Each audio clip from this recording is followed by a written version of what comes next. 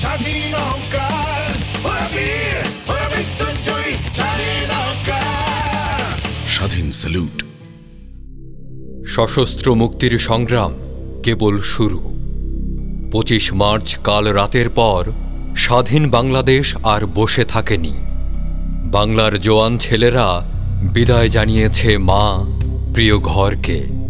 নেমে গেছে সম্মুখ যুদ্ধে স্বাধীনতার হুঙ্কার নিয়ে।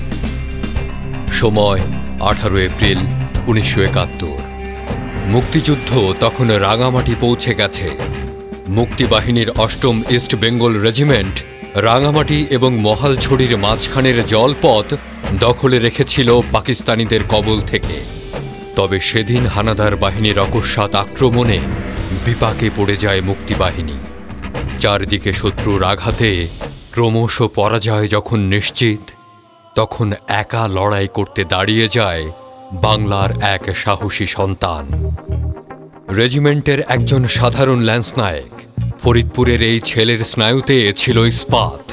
মাটির একটি নর্দমায় লুকিয়ে অবিরাম মেশিন কান দিয়ে ঝাঁঝরা করতে থাকেন সামনের শত্রুদেরকে। শত্রুর এক মর্টারে নিজের প্রাণ দেবার আগ পর্যন্ত রক্ষা করেন দেড়শো সহযোদ্ধার জীবন। হে বীর, তোমার স্মৃতি লণ্ঠন হয়ে থাকবে বাংলার প্রত্যেকটি ঝোড়ো রাতে। তাই এখনও তোমাকে স্মরণ করি অশেষ শ্রদ্ধায় আর গভীর ভালোবাসায়। স্যালুট, বীর শ্রেষ্ঠ মুন্সি আব্দুর রৌফ।